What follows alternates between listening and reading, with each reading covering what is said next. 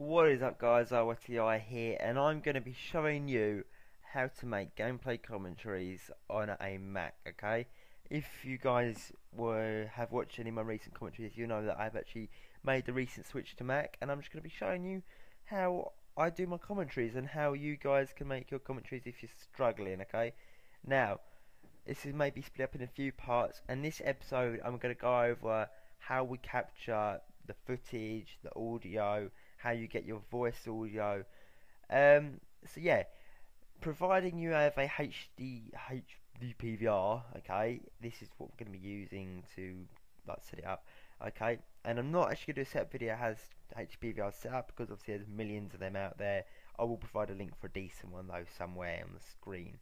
But this software, okay, it's called EyeTV EyeTV and I'm using version 3, it's right there and it really is, I would say, a brilliant bit of kit. Okay, uh, the one you get with Windows, it's decent. It's like the like come free sort of kit.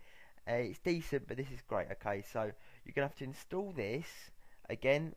I'll leave a link where to be installed and whatnot. Really, really good bit of uh, kit. It isn't free, I'm afraid, but there are ways if you catch my drift. Okay, so what you want to do, you want to plug your PVR in and going through the installation process it will ask you what recording device you have. If you obviously have the HDPVR, you choose HDPVR. Now a quick tip, if you're going to EyeTV up on the top menu here and down to preferences, if you go into custom, it will normally just be, it'll be on like good or whatever.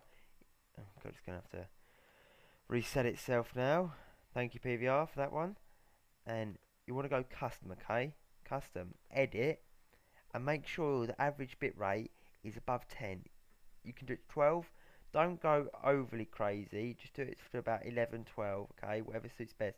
The reason being, um, if it's low, the PVR won't be sending enough megabits per second, and you'll get laggy, choppy gameplay. In like on this, this is just like a like a uh, like a still frame this screen at the moment. I can move my controller around. It would be like a few seconds like delay but it records really nice. And you want them like high uh, what do you call it megabytes and whatnot. For the pure reason being you don't want it to be laggy in Modern Warfare 3 or Skyrim if you're playing if you're fighting a dragon. You do not you do not want it to be chopping and changing you want nice smooth gameplay okay?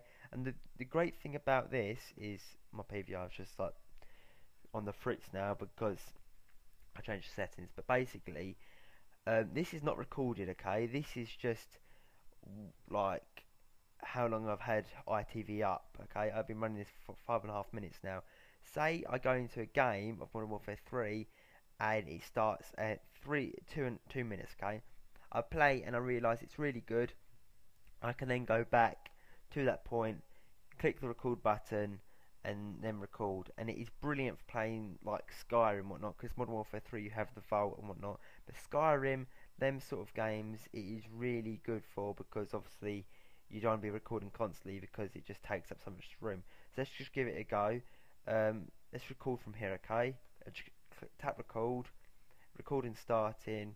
From that point where I, I like selected give it a few seconds unclick record and recording stopped okay? It will then put it in here okay? This is your EyeTV3 like video menu. To get this up from here you just click this button the top like right hand button but it normally does always open up by itself.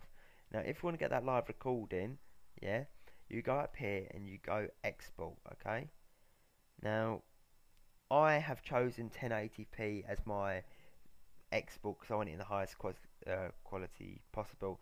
So if you just go save, it'll export it, and this is only like three seconds of worth of clips. So it'll be absolutely tiny, and don't know why it's showing up as a big size. It shouldn't be that, but the sizes aren't too bad to be honest. They normally keep them pretty decent, and just encoding it. So yeah, it will export it, and I've just chosen to my desktop, and as you can see, it has done it right here which is perfect. That's that is our footage recorded. Okay. Now, if you're in like uh, Modern Warfare 3, for example, you want to go to your vault, load up your game, click play and record from the beginning of the game, okay? That is what you want to do. Now, I'm just going to close that. And obviously, you want to like do a commentary to it, don't you? You guys want to do a commentary? So you're going to need decent commentary software. Now, what I use is Audacity. Now, I'm not sure why it's opened that up for some reason. That is probably just my Mac being devilish and witty and trying to get a, like a little spot in the video. I'm not doing it, guys. I'm not letting it have it. I use Audacity just from the pure reason is I've been using it about a year now, um, and yeah, I just know how to use it.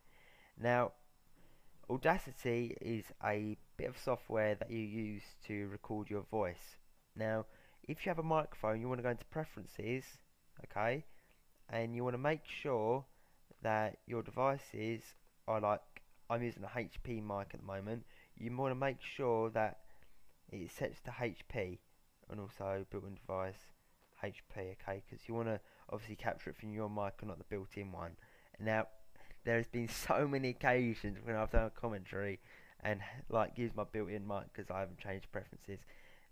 A lot of the time when you plug it in, it will do it automatically, but there are certain occasions where it just won't. So make sure you double check that it is your default setting. Now you literally just press record.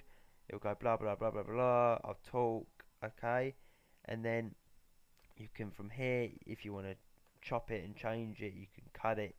With this tool, you can like press S and oh was it delete, backspace to delete, Command Z to uh, undo. Sorry, but to be honest, you should your commentary when you speak, you know, you're going to make mistakes when you talk, so it's not really a big deal. Now from here, you should export it. You've got export MP3 files. Now to, I always use MP3 because I believe it's one of the best qualities. There probably is a better quality here, which I don't know about, but I'm familiar with MP3, so I just do it. Save as commentary chess. Probably spelled that wrong. I probably have actually, because I just typed really fast okay? And there is a thing. Now Audacity doesn't come with an MP3 built in. You're gonna have to go to the Audacity website Audacity and it'll be just type in MP3 plugin Mac pretty simple and it'll be in frequently asked questions and it'll say you go down to here you'll install it. It literally just run the exe file and next time you go to it will say export as mp3 it will say where do you want me to locate it? Click ok and it'll do it. It really is very simple guys and there are tutorials out there. I'll leave another link for that. But that is capturing the footage guys. We have our audio here our gameplay here. Obviously this would be your like your full 10 minute gameplay or how long it is. This would be your obviously matching 10 minute commentary.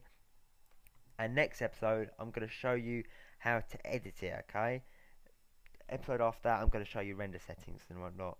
But that is it, guys. Um, I hope you've enjoyed this video. I hope it's been an insight on how to do things. And that is about it. I can't really say much more apart from see you next episode.